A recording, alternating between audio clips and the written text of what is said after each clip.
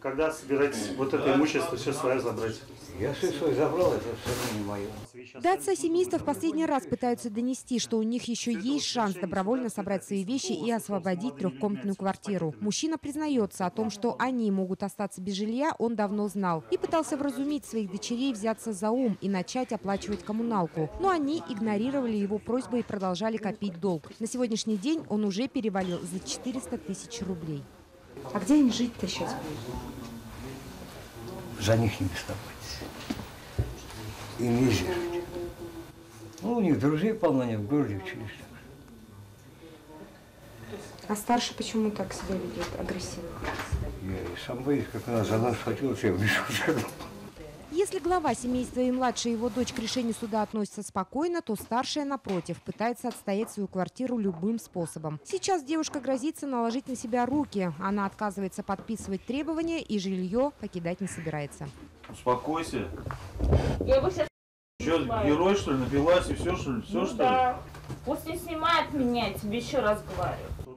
А вот соседи этой неблагополучной семьи ждут их выселения с нетерпением. Они добивались этого несколько лет. Когда вот девчонки подросли, тут уже ну, вообще стало невыносимо, потому что уголовники, драки, пьянки, поножовщина, постоянно сюда к нам полиция приезжала, потому что то кого-нибудь зарежут, то э, что-нибудь еще сделают. Мебель с окна выкидывали постоянно, соседи постоянно топили. В общем, невозможно было жить.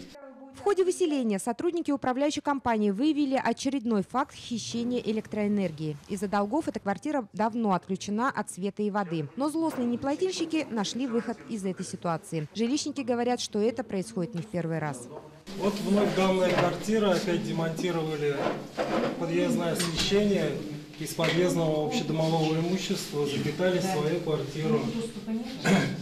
То есть факт воровства общедомового электроэнергии.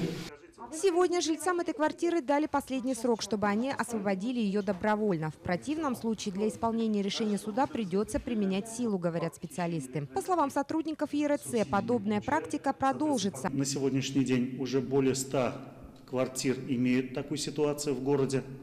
Э, Я думаю, что если граждане, еще раз повторюсь, не одумаются, процедура судебного производства у нас уже с февраля месяца заработает. В общем же, нижнекамцы на сегодняшний день задолжали за услуги ЖКХ уже более 327 миллионов рублей. Вера Муратова, Максим Галимзянов. Новости Татарстана.